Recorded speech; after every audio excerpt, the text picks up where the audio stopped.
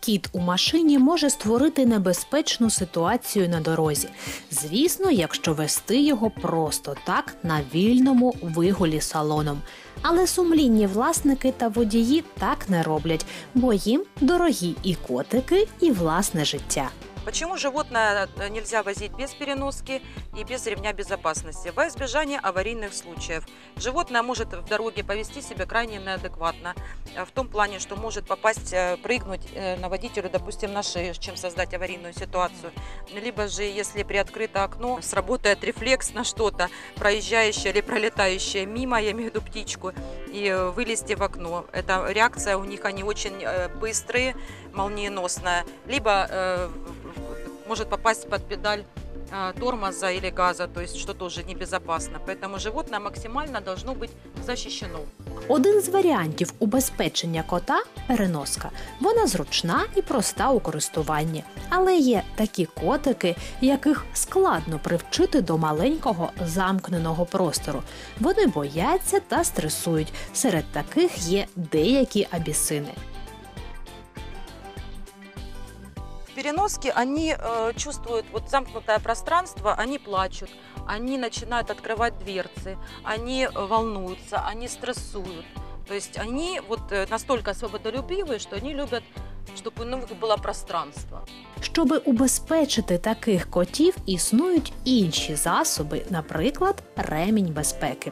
Він являє собою котячу шлейку, яка має спеціальний роз'єм і надійно кріпиться у машині.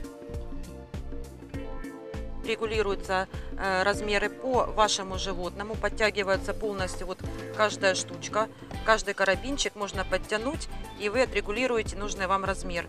А, как на крупную кошку, такую как майкун, либо же на абиссина, либо уже на скотиш фолда. Все это регулируется. Э, Даже на, и есть, э, я знаю, что и для собак эти ремни безопасности. Тут максимально подбирайте размер под свое животное.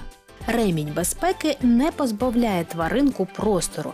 Кіт бачить господаря, має вдосталь місця, щоби зручно вмоститися, надійно пристебнутий, а територія його пересування обмежена та знаходиться під контролем.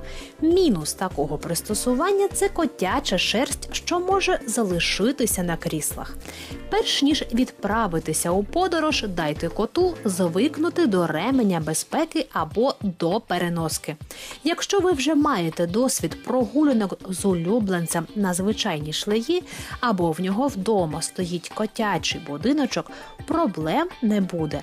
Але якщо кіт не знає, що таке поїздка в машині за декілька днів до відправлення, одягайте на нього шлею, щоби він встиг звикнути.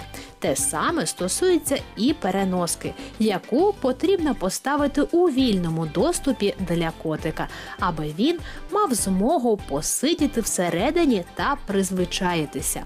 Тож переноска чи ремень безпеки вибір залишається за господарем та його улюбленцем. А маленька компанія бажає вам безпечних та комфортних подорожей.